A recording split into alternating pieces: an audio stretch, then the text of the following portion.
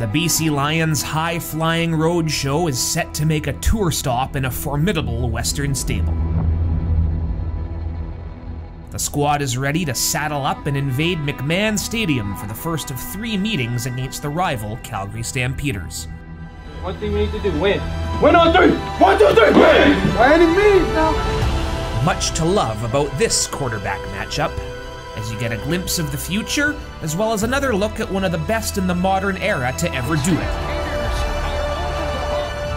But these Lions ball hawks will look to make life miserable for Bo and the boys in red. RP's defense has been the most opportunistic in the league thus far.